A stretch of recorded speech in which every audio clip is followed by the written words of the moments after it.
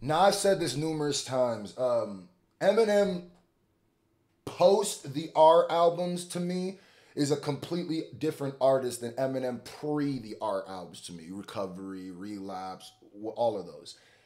But the rapper that Eminem was, my favorite version of Eminem was the pre stuff. This was to me when he was in his prime. And I gotta throw this up. We gotta do this reaction to remind some of y'all. All right, yeah, yeah. Because there's people who be like, man, Eminem's cringe. He's dad jokes. Da, da, da. And this, because they because they hear the version of him now, bruh. Which I, I don't think all of the critiques of him are are fair now, but I think a lot of them are. But All right, this thank nigga, you. All right. do your Met a retarded kid named Greg with a wooden leg. Snatched it off and beat him over the head with the peg. Go to This was peak. He didn't give a flying f. peg. Go to bed with the keg. Wake up with the 40. Mixed it with Alka-Seltzer and Formula 44D. There's something about. By the way, that's a bar. That's a bar apparel coming soon. Um, I got hoodies, shirts, but oh my god, there's something to say. This is Rap Olympics, Eminem. This is, like I said, from this all the way till about that. Was it the Eminem show or was it Encore? No, no. This all the way to Encore to me is almost a flawless run. I'm gonna keep it tall. And for that, that's why I always classify him as one of the greatest. Do I think that he's dropping the same? Does his music raps hit me the same way that it used to? Not as much, no. He's technically great, but there's something that was here. Something that was here that I don't know what it is, bro. But ugh. Formula 44D. Forget an acetab, I strapped the whole sheet to my forehead. Waited till it absorbed in and fell to the floor dead. No more sad case closed in a discussion. We blowing up like spontaneous human combustion. This is fire every single time you hear it. That's that's how you know a nigga really ate a beat. When you can listen to it over and over and you're like, ah, I'm catching new Oh. Put my forehead until it absorbs in and I've laid on the floor dead. Oh. And it's even something about though Eminem has always been like a nasally person. That's just kind of his voice. There's something about back here where I feel like his voice has more bass than it does now. I feel like he sounds his voice sounds way more thin now, where it's like it's a lot more. Though this is a nasally, there's still more bass to it, and it's just like, is that what it's? meant? There's a soul that Eminem got here. busted. Leaving you in the aftermath of Holocaust and traumas. Cross the bombers, we blowing up your house, killing your parents, coming back to get your foster mamas. And he didn't. He didn't give a damn. Boy, did he not give a damn. Oh, cross the bombers, we blowing up your house, killing your parents, coming back to get your foster mamas. And I'm as good at keeping the promises Nostradamus, cause I ain't making no more threat. I'm as good as keeping a promise as Nostradamus. Jesus.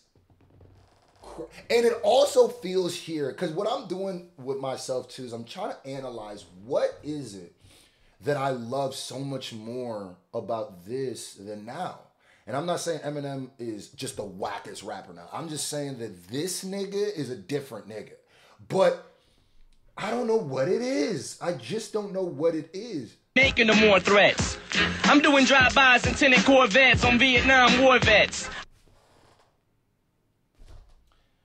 Also, I think maybe his voice is landing on the beat a bit better. He's he's also kind of thinking of how to make this flow with the beat well. I think he's thinking of the entire music creation and sprinkling dope rhymes. It's always gonna come with it because that's how he does. But I think he's Vietnam war vets. I'm more or less sick in the head. Maybe more cause I smoked crack today, yesterday, and the day before. Saboteur. Walk the block with a Labrador. Strapped with more corral for war than El Salvador. strapped with more corral for war than El Salvador. Jesus Christ. strapping more crap forward than El Salvador. There's something about Eminem. There's something like now it's like man, man, man, man, man. When a strap award more forward than El Salvador, but I with a Labrador, the seven out with a Labrador, and the with a Labrador. It's a very like I don't know, like uh there's a pocket that raps like that, but it uh Foul style galore, verbal cow manure, coming together like an eyebrow, and Al B. Sure. Oh my god. It's like that. Those random shots you would take as celebrity coming together like an eyebrow on Al B. Sure. That bar still hit. Oh my god, bro. oh man. Maybe this just comes with youth. It's like the naivete of not knowing where your words can take you. But I will say, even when Eminem was doing the Grammys, he was still doing this. But like, It's like that. Eminem. Uh, Eminem. Alright, bust it. Talk crazy, Em. It's only fair to warn I was born with a set of horns. Ima- Now I ain't gonna lie to you. This verse, I could is damn near tattooed in the back of my eyelids. This is one of the best verses I heard from him. It's only fair to warn I was born with a set of horns. The patch of metaphors attached my umbilical cord. Warlord or rapper, come on, bro. I'm trying to educate the new ones, man. There's a lot of people who just think Eminem's like a cornball. It's, it's like that's not fair, bro. Don't start reading the story. Don't come in, in the, uh, uh, on the season on the sixth episode and then judge it the whole. Come on, bro. Eminem. Bust it. What? Whoa. It's only fair to warn I was born with a set of horns. The Uh-huh. metaphors attached to my dang umbilical cord. Woo! Warlord of rap that'll bash you with a two by four board and smash into your Honda Accord with a four door Ford. But a more toy dropping an acapella, the chopper fella, the mozzarella worse than a helicopter Helicopter. propeller. Got you locked in a cellar with your skeleton showing, developing anorexia. While I'm standing next to you, eating a full course meal, watching you starve to death with an IV in your vein, feeding you liquid Darvocet. There's something about this that's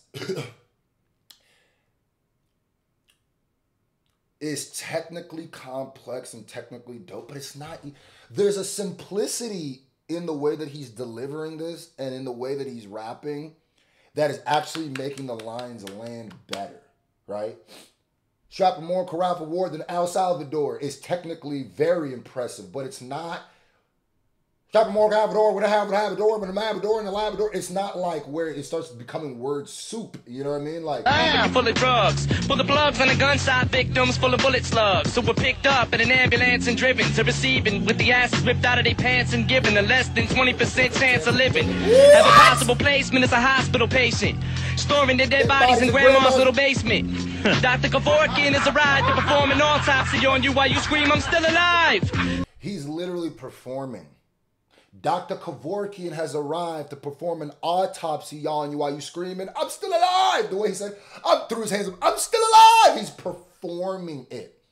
And it's the, the it's not a millions. Dr. Kevorkian has arrived to perform an autopsy on you while you screaming, I'm still alive. That's not a million syllables crashing into each other for the sake of rhyming syllables. That is, I'm trying to get, tell you that I am sick like Dr. Kevorkian, and I will perform autopsy on you while you still breathing, nigga. Yeah. What? Driving a rusty scalpel in through the top of your scalp and pulling your Adam's apple out through your mouth. But I called a fire department. there's still lots of syllables in there. Uh, Pulling your Adam's apple out through your mouth. A rusty scalpel through your scalp and pulling your Adam's apple out through your mouth. That's horrorcore. That's like, uh, apartment. I fired an arson and set fire to carpet and burn up your entire apartment. Jesus Christ, bro. Goat.